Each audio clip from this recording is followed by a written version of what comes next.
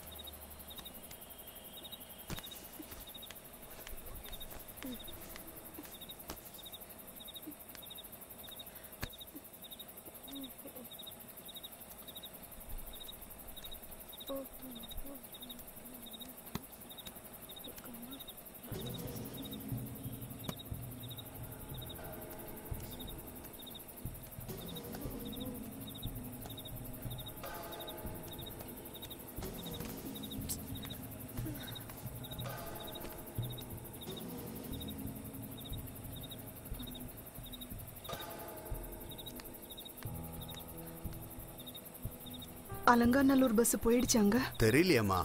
கடைசி பஸ் கூட போயிடுச்சுன்னாங்க. எனக்கு இங்க யாரையுமே தெரியாது. ரொம்ப பயமா இருக்குயா?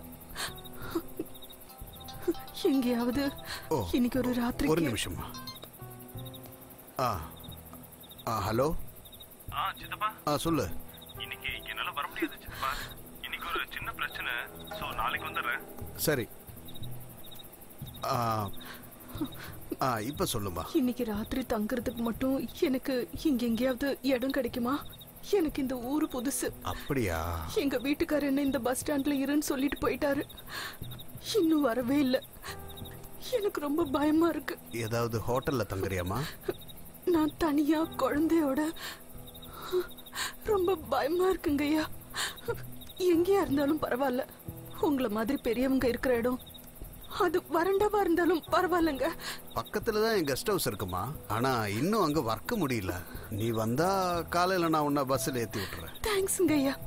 கடவுள் மாதிரி வந்தீங்க. போகும்போது பாப்பாக்கு பால் வாங்கணும். சரி பரவாயில்லம்மா. போற வழியில வாங்கிக்கலாம். வாமா வாமா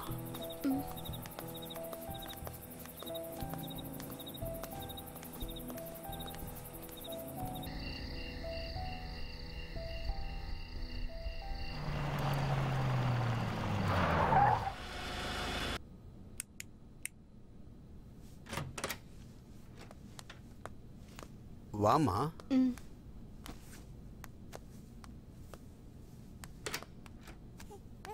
இதுதான் என்னோட கெஸ்ட் ஹவுஸ் நீங்க ஃப்ரீயா இருக்கலாமா? எதுக்கும் பயப்படாத. இந்த அளவுக்கு அன்பா என்கிட்ட யாராவது பேசி பல வருஷம் ஆயிடுச்சு.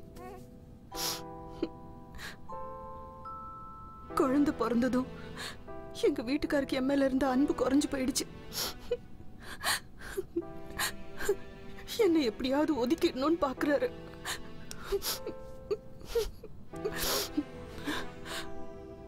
கொஞ்சம் குழந்தைய பாத்துக்கிறீங்களா?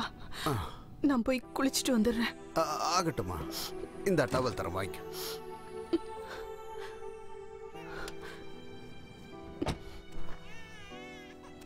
ஆய் புஜ்ஜி குட்டி சிக்லு. ஆஹ், புஜ்ஜி குட்டி. ஆ, என்னடா? ஹலோ. வணக்கண்ணா நான் சுபு பேசுறேன். ஆ சொல்றா. இந்த பாருடா இன்னைக்கு யாரும் இங்க அனுப்பிச்சிடாத. என்னாச்சுண்ணா? இன்னைக்கு ஒரு பறவை தானா வந்து நம்ம கூண்டுல சிக்கி இருக்கு என்னடா?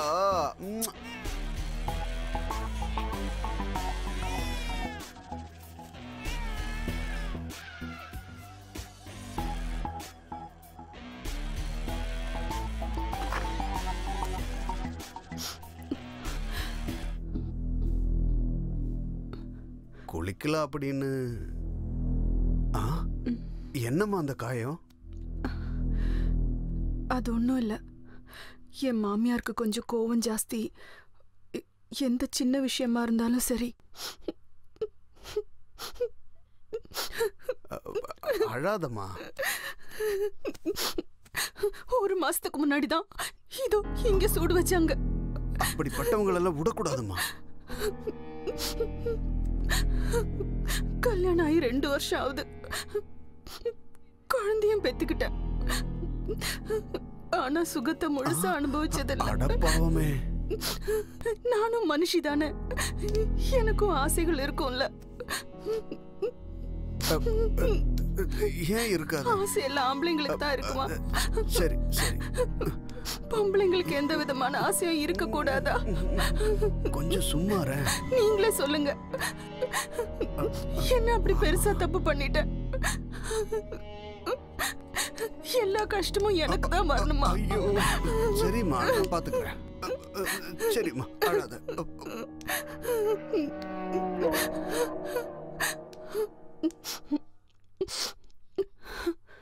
பாப்பாக்கு பால் கொடுத்து தூங்க வச்சிடுறேன்.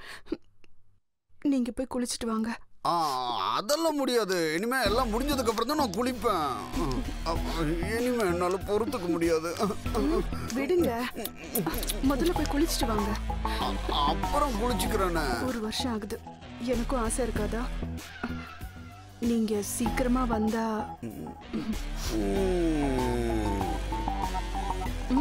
போங்க. உடனே வந்துடுறேன்.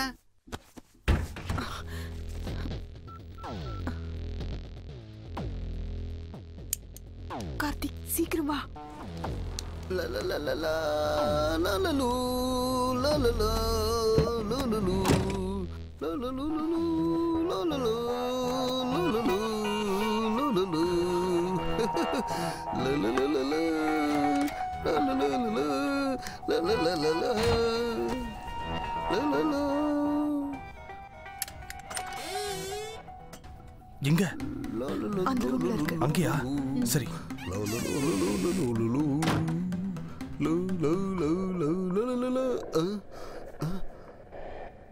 uh, uh, uh, கதவை திறங்க. எல்லாத்தையும் எடுத்துக்கிட்டியா? கதவை தர ஏய் இருக்கட்டும் பரவாயில்ல. நமக்கு தேவைப்படும் தர சரி எடு ஏய் என்ன விளையாடுற? கதவை தர ஏய் உங்ககிட்ட தான் கதவை தர கதவை தர இந்த பாருமா விளையாண்டது போதும். கதவை. தர. ஏய் வா போயிடலாம் வா.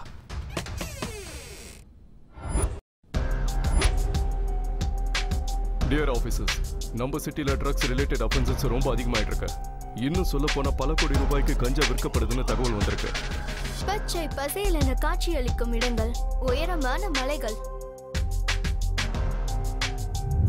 இப்படிப்பட்ட இடத்தில் பயிரிடப்படுகிறது கஞ்சா செடிகள். பச்சை பசேலென இருக்கும் இடத்தை மாஃபியா குறிவைத்துள்ளது.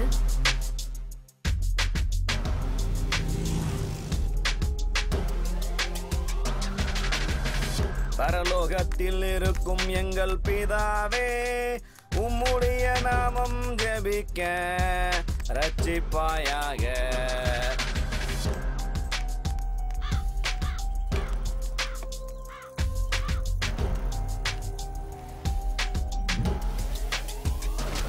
சாகுபடி செய்யும் இடம் என்பது மாவோயிஸ்டுகள் அதிகம் குவியும் இடம் என்பதனால் அரசாங்கம் இதில் கவனத்தை அதிகமாக செலுத்துகிறது. இதுவரை நூற்றி ஐம்பது கிராமங்களில் கஞ்சா சாகுபடி செய்யப்படுகிறது என்று கூறப்படுகிறது.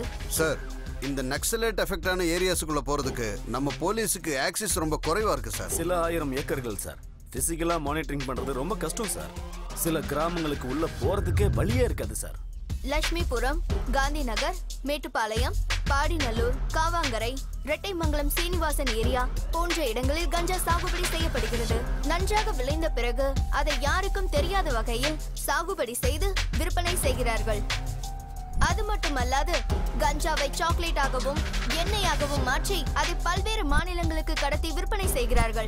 இவற்றிற்காக இவர்கள் மலைவாசிகளையே இவற்றிற்கு அதிகமாக பயன்படுத்திக் கொள்வதனால் இவர்கள் யாருக்கும் தெரியாத வகையில் தப்பித்துக் கொள்கிறார்கள்.